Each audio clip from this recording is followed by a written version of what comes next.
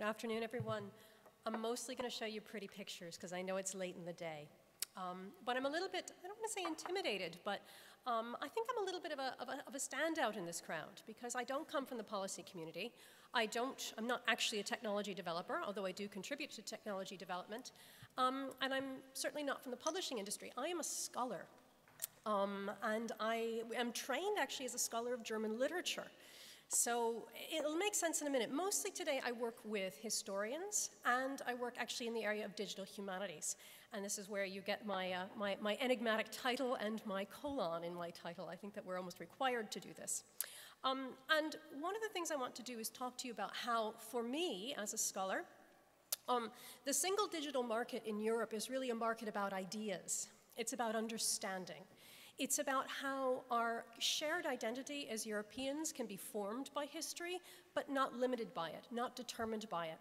And I think a very good example of, of how this is a very multilingual question, and a multilingual question that should not be underestimated or simplified, uh, is something that we can see in if we look at our history from exactly 100 years ago.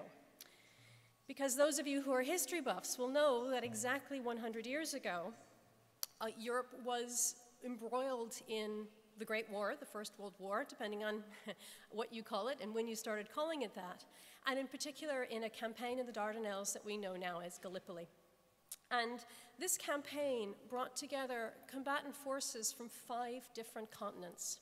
We know the official languages, and there was many official languages in which the records of this campaign are now enshrined and which historians can use.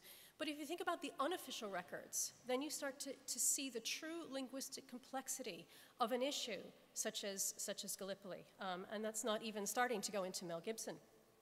Um, I looked around in the Europeana Digital Library. We had a speaker from Europeana earlier today. Hello, Antoine, if you're still here. Um, to find out what some of this linguistic complexity looked like. And I found a couple of things that I want to show you just to give you a sense of, of what wonderful grist there is for the historical mill within Europeana uh, regarding this particular campaign, this particular moment in European history. And one of the first things I found was this wonderful diary from the front in three volumes, an absolutely massive work written in, with great care um, by a Frenchman, a French artilleryman, who is describing in incredibly emotional language what he saw and when he saw it, day by day, allowing the reader to, to move through the campaign with him. But also, I found interesting things like this, which is a German officer who was given a Turkish war medal and sent the Turkish language letter that went with it, which then had to be translated into German. But what's interesting about it is the lower section of the text um, also had to explain the importance of the particular Turkish script and how part of it was handwritten and part of it was, was actually um, uh, uh, printed. So there's quite an interesting linguistic issue even within the single document, much less in the entire record. When we look at documents like this, I start to think about how this data soup, as we call it in the project that I run, this multilingual, messy, heterogeneous record of a contentious time, um, has led to something that, or, or is tied up with something um, that is, is an emerging paradigm of modern history, which is what we call transnational history. Now, transnational history is not a new terminology. It's been around probably for almost 100 years, and it arose through the desire to study transnational organizations like the American Red Cross. There's no way of studying the American Red Cross in a single institutional national archive or other data silo. And the fact that transnational history is becoming more and more of a dominant paradigm now, for me, is indicative of a number of things. Uh, first of all, I mean, obviously, we are aware um, of, of, some of the issues of, of modern versus postmodern history. History is written from a certain perspective. It is fallible, it is human, and we need to be wary of that. But more than that, the affordances of the digital, the fact that historical records are now accessible across borders, across time and space, is quite important for the way we want to do history. We want to bring those records together and work with them in particular ways. We also want to, to reflect the fact that scholars themselves are becoming more transnational. Scholarly careers start in one country, then move through another. The education may be in a different country, and the eventual career may be in a third. So there's a lot of, of, of trends that are driving towards the desire to do a history that doesn't ignore the national, but also doesn't ignore the interconnectedness at a supranational level. Now, we also need to remember, of course, that history isn't just the past. And if there's one thing that some of the recent headlines from The Guardian and other places have reminded us, how we talk about history, our access to the records of history, what we, what we, we need to interpret and reinterpret, it's still very much a living thing and still very much a part of an identity in formation. So if historians want to have a very complicated and nuanced view of what is in the historical record, interestingly, and as a bit of a sidebar, this is something that citizens seem to want as well. Because what we risk doing if we take linguistic content from another time and another place and stripping it of its linguistic complexity, um, we risk removing the level of the culture. And when asked in the Eurobarometer survey what um, aspects of Europe created a feeling of community, citizens responded by and large with the fact that culture was really the leading aspect that was felt to be something that brought Europeans together. History is there, values are there, languages are even there, but culture is the thing that leads. And the question is, how can we preserve that feeling of culture?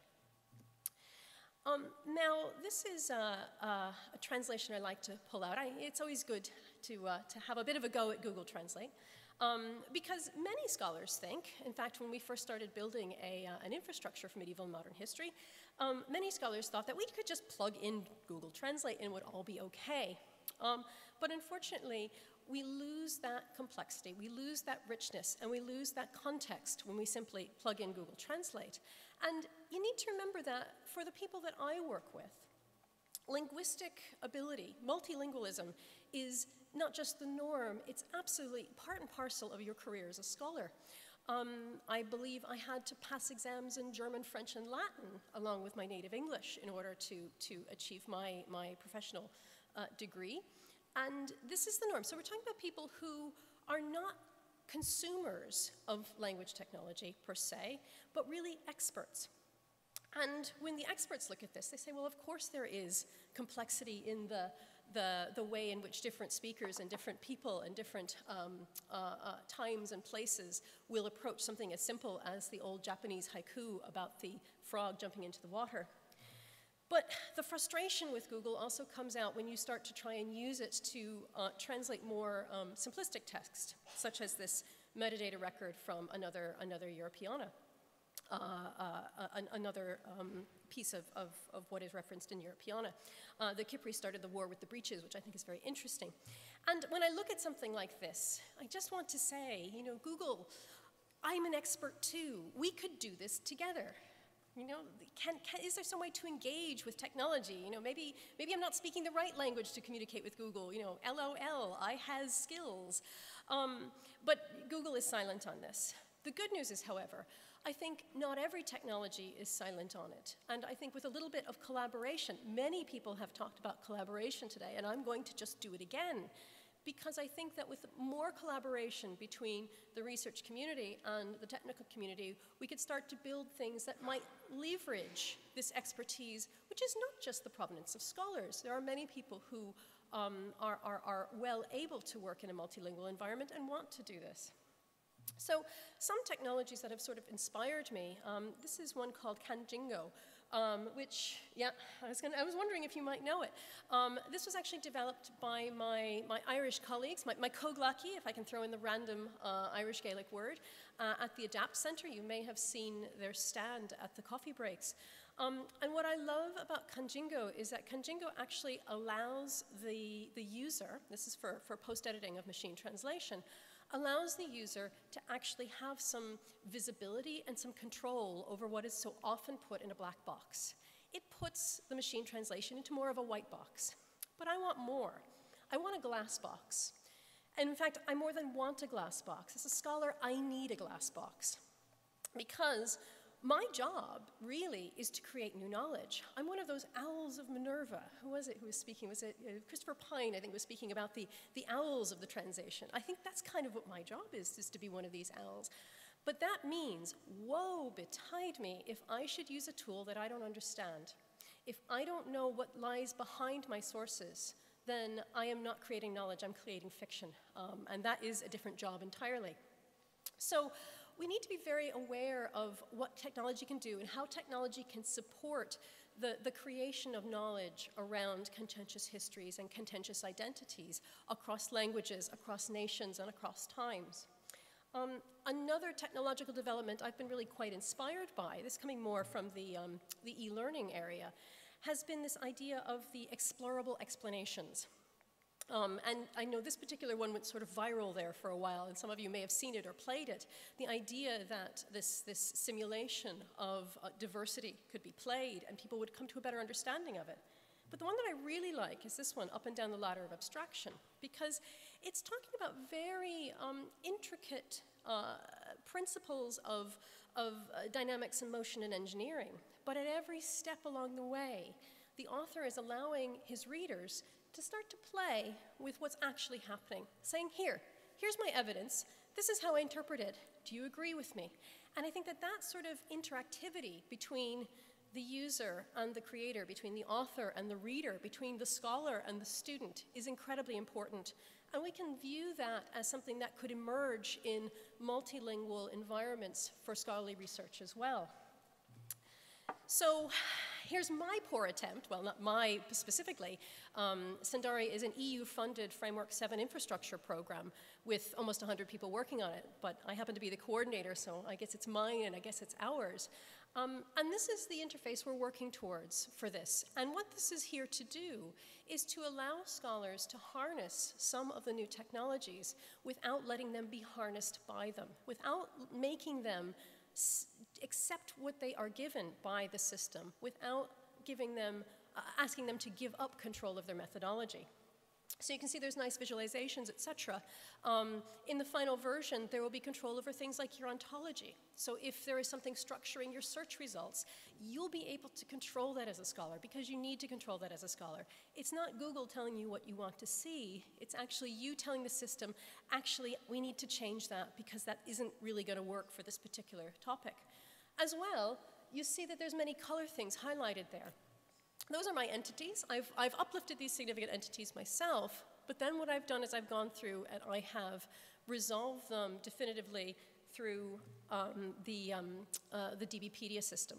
And the reason why that's important for us is not only does it give us a, a, a, system outside of ourselves, outside of our own knowledge, where we can actually look at some of the, the, the references that we have, um, it allows us to resolve these across languages. So where we have Gallipoli or Gelibolu, we can actually look at those two. And when we're looking at a massive information in the system, which the system will eventually have, then we can actually see that those two things are the same for those situations where it has been resolved as the same.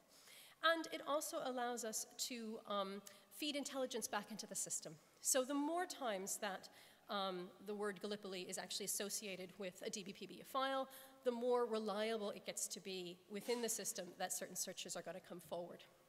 Now, this kind of, of system doesn't come without collaboration. As I mentioned, we have nearly 100 people in CENDARI, some of whom are developing the technology, some of whom are from cultural heritage institutions, some of whom are scholars, some of whom are, are traditional historians. And we're all coming together to collaborate, but this could go further. And I think one of the, the messages I would like to leave anyone in the technology sector with, if, if uh, Christoph can advertise his Horizon 2020 project, well, we're, we're constantly looking for partnerships. And we're looking for partnerships across those boundaries because we believe that if we can have these kinds of collaborations between the information sector, between policy, between uh, technology, and between humanists, well, wait, what we can do is we can find ways of educating the humanists about their methodologies, about educating citizens about their identities, but also about improving technologies. Because again, this whole idea of developing for a certain kind of consumer, this is the sort of thing that, that does bring different kinds of, of worldview, different kinds of creativity together, and which does have the capacity to make for technological innovation as well as social innovation, or indeed simply the, the innovation of new knowledge or wisdom coming, coming forth in the scholarly circles. So I will say, and I realize this is slightly sexist, but this is a historic poster, boys and girls, come over here, you're wanted. Um, because I do think that although humanities researchers can sometimes be viewed as standing up on an ivory tower and not wanting to integrate, I do think that a meeting like this proves that we can join together, train together, embark together, and develop together towards um, both a more uh, linguistically complex and rich European identity in this single market of ideas. Thank you.